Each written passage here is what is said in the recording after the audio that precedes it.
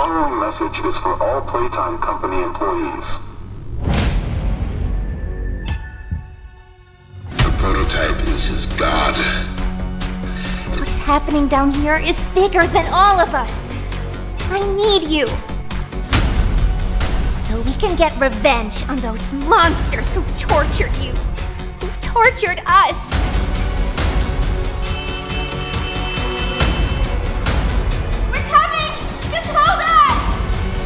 Prototype has to die. For this. For everything.